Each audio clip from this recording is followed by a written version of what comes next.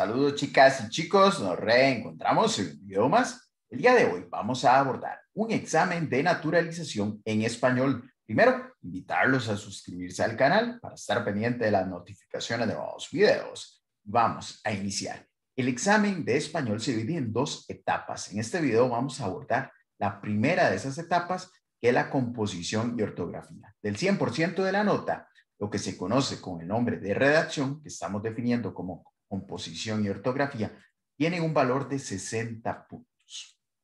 Hay cuatro temas que se presentan, no son estos mismos, cada, cabe aclarar que los temas pueden variar, pero sí es importante eh, tener una idea de cuáles podrían ser. Por ejemplo, los valores me forman como ser humano, el deterioro del ambiente nos afecta a todos, la importancia de tomar decisiones responsables, la perseverancia es la clave para llegar a la meta. De estos cuatro, yo elevo elegir uno. Como les indico, estos temas varían, no van a ser los mismos en el examen próximo del 24 de julio ni en los de más adelante, pero de los cuatro ustedes eligen uno.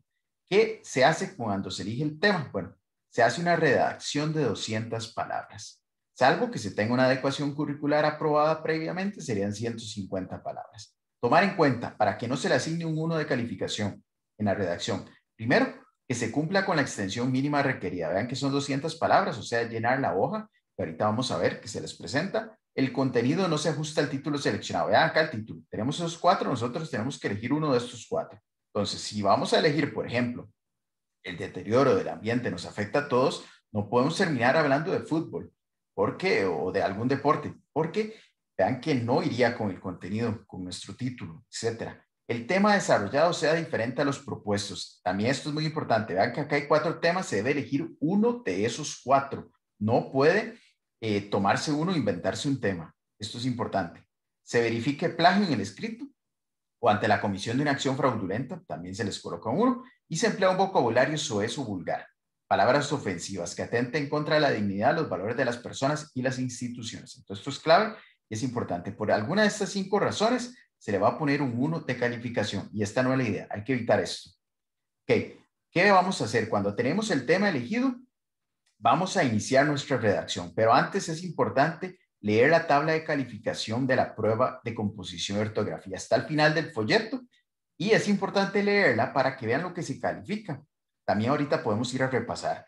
Vamos a ver que el folleto tiene una parte para trabajar en borrador y también una parte para calificar únicamente, vean acá que está marcado en negrita, únicamente se calificará lo escrito en las páginas del trabajo para calificar. El borrador es importante realizarlo porque es fundamental. Ahorita vamos a ver los pasos y algunas recomendaciones. Es importante tomar en cuenta a la hora de redactar la redacción, de iniciar la redacción. Pero lo único que se va a calificar es lo que está en el trabajo para calificar. Vea que acá dice, utilice bolígrafo con tinta permanente azul o negra y si deja su redacción con lápiz, perderá el derecho a reclamar, hacer una, un recurso revocatorio. Al finalizar su escrito, deberá anotar su nombre completo inmediatamente después del punto final. Entonces, apenas finalizamos, terminamos la redacción, punto y final, y anotamos nuestro nombre. No está permitido utilizar hojas adicionales, trazar renglones adicionales, escribir fuera de los márgenes, esto es muy importante, y dejar renglones vacíos entre párrafos. No podemos brincarnos. Es decir, si yo termino un párrafo, ahorita vamos a ver, si yo termino un párrafo acá, yo no puedo iniciar acá, tengo que continuar acá mismo, en el reloj que continúa, el reloj que sigue.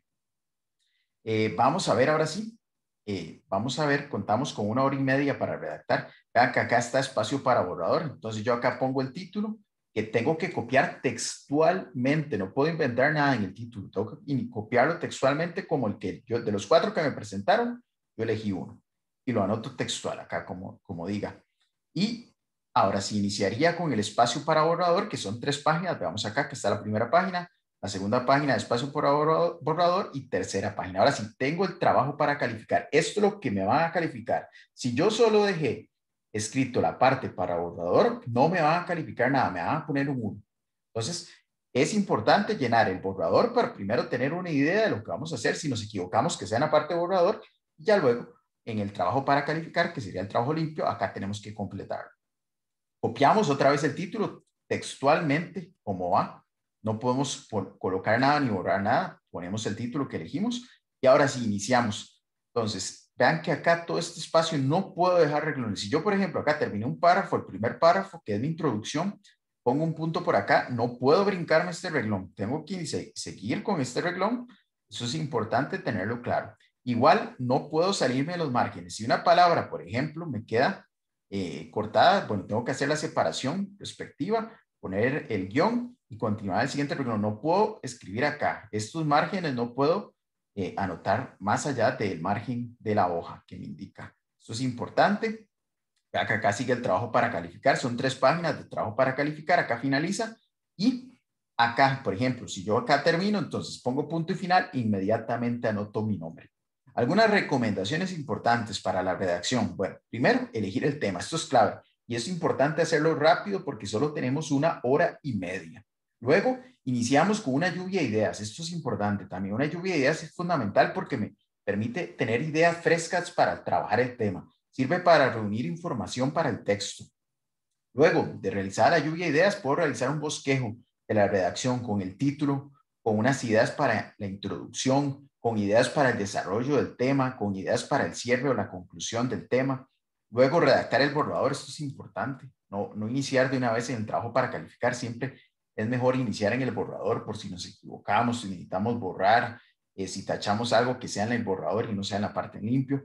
Y una vez que redactamos el borrador, que sea coherente y claro, lo vamos a leer para que eh, sepamos que es coherente y claro, pasar en limpio y leer con calma. Estas son las recomendaciones que estamos brindando para esta primera etapa del examen de español, que es la composición y ortografía, que vale 60 puntos, y, eh, o lo que se conoce como redacción.